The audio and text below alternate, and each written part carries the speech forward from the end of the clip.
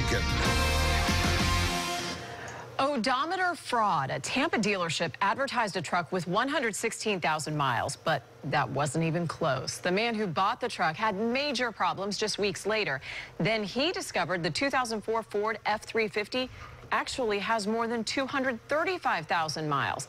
When the dealership didn't make it right, that's when he knew he'd better call Behnken. Investigator Shannon Behnken joins me now.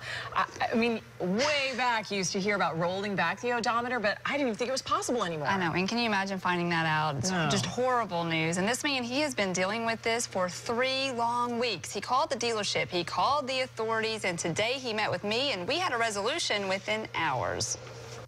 This was Josue Torres' dream truck.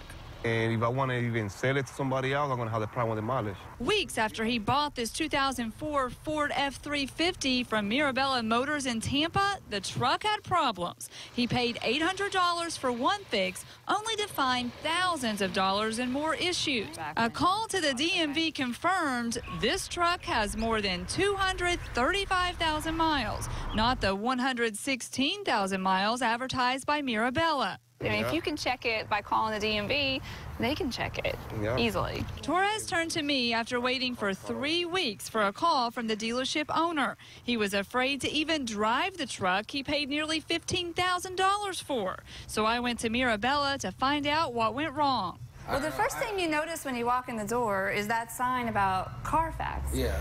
If you guys had checked Carfax, you would have known. I don't. I was told the owner might be at his other dealership, Tampa Mitsubishi. The sales manager explained the dealership had bought the truck like this from an auction and didn't catch the mistake. He called the owner, and quickly a deal was in the works. I called Torres, and he rushed over. We're gonna give you back your navigator, give you your thousand dollars back. We're gonna pay off the truck.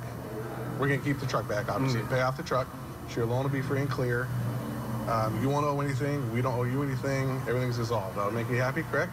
The dealership ended up paying Torres back for repairs he made on the truck, plus reimbursed him for the $330 payment he had already made.